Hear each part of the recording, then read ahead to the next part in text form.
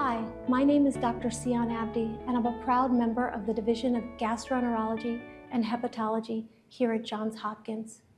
I wanted to take a moment today to discuss the importance of colon cancer screening. Colorectal cancer is the fourth most commonly diagnosed cancer in the US, and it is the second leading cause of cancer death.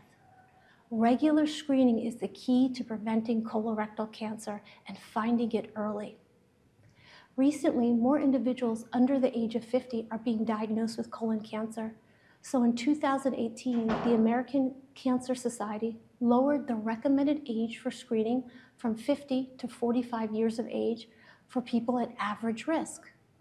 And for African Americans like me, we are at higher risk for colon cancer than any other racial or ethnic group in the United States. African Americans are about 20% more likely to get colorectal cancer and about 40% more likely to die from colorectal cancer than any other group. So it is extremely important that we get screened for colorectal cancer.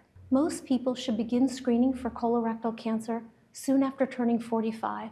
Then they'll continue to get screening at regular intervals.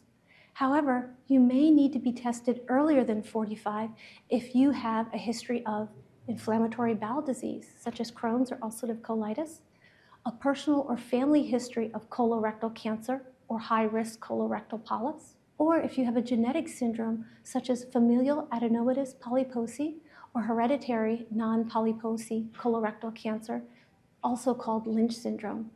If you have any of these high-risk features, you will likely need to get a colonoscopy earlier than age 45.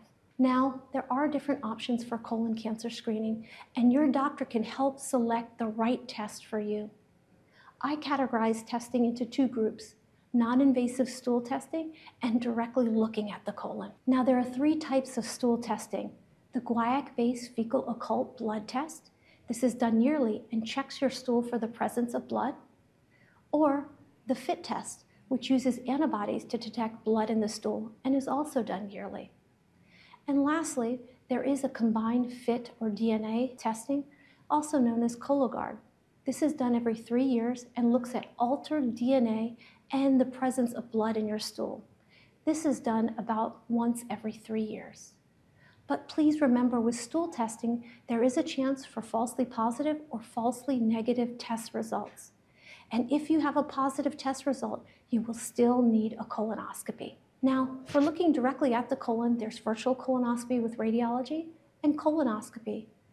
Colonoscopy is the gold standard. And you may ask me, why is colonoscopy the gold standard? That is because it is not only a screening test, but a diagnostic tool. During a colonoscopy, we can look for the presence of colon cancer and also look for colon polyps and remove them.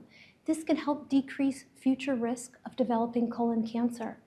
So during a colonoscopy, we can remove a polyp before it ever has the chance of becoming colon cancer. So hopefully from this video, you see how important it is for you to get colon cancer screening. It is truly something that can save your life. Please remember to always be an owner of your health and your best advocate. Don't wait for your medical provider to ask you about screening for colon cancer. Tell them that you want to prevent colon cancer and you want to be screened. Now here at Hopkins, we are experts in the field of digestive health, including colon cancer.